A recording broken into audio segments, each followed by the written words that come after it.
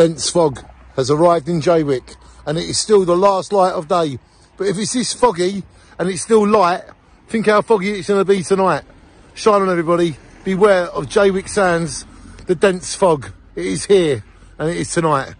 Shine on John Lennon, 40 years ago today. We never forget. The dense fog is in Jaywick. Beware, because we care.